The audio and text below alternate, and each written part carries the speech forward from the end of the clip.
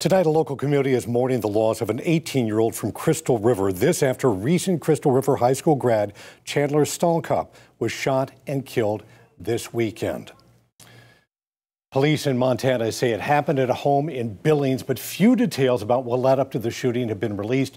Two teens were arrested. One of Stalcup's high school teammates spoke about how he'll remember his friend. On the field, he was uh, he was strong he didn't care about what else happened. He just wanted to focus on his craft. And, you know, off the field, uh, just him being a, a family person, you know, that kind of rubbed off on me. He was someone that I looked up to on and off the field.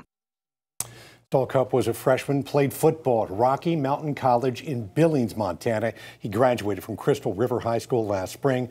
A crisis response team was at Crystal River High School this morning, and district leaders tell us they will stay as long as they are needed.